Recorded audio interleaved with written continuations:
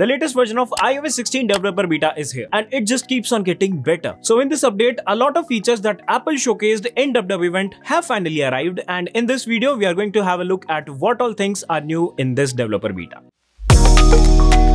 So let's start with iCloud Shared Library. Apple showcased this feature in WW event and they said it will be released soon. And it is finally here. We are still testing this feature and we will be covering this in detail very soon. So make sure you stay tuned with iGeeks blog. Beta 3 also brought some changes to lock screen customization. So let's get into that. So the font from lock screen clock in iOS 15 is now added to the fonts that you can choose for clock on lock screen in iOS 16. Secondly, we have now OG Clownfish wallpaper from back in day and it's pretty cool to see it back again. Talking about the home screen layout, when you go into settings, wallpaper, you see this new info card about all the changes to the whole iOS 16 lock screen wallpaper customization with few more UI changes when you select a wallpaper.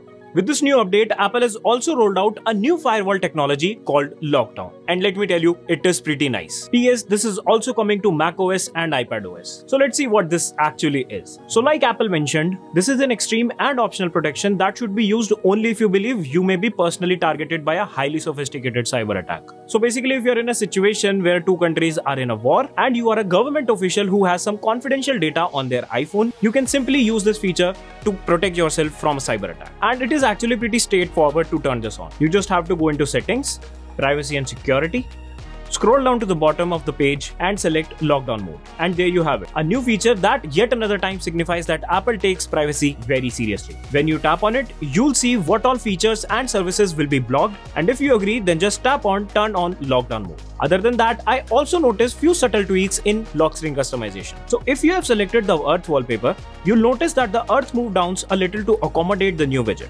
Earlier, that did not happen and the widget was just overlapping the earth. That's pretty neat. And talking about widget, one more change I noticed is that when you add a calendar widget on your lock screen, your iPhone won't show any sensitive info such as your task when it is locked. All of that will only be visible after you unlock your device. Good move Apple. So that was it. Everything that's new in iOS 16 Developer Beta 3. Have you installed Developer Beta on your device? No? No? Then check out our video on how you can do that. Link in description below the like button. That is it for this video. If you liked what you watched, then make sure you hit the like button, subscribe button and the bell icon as well. And make sure you download the iGeeks blog app from App Store if you like to stay updated with everything Apple. This is Yash signing off and I'll see you in the next one.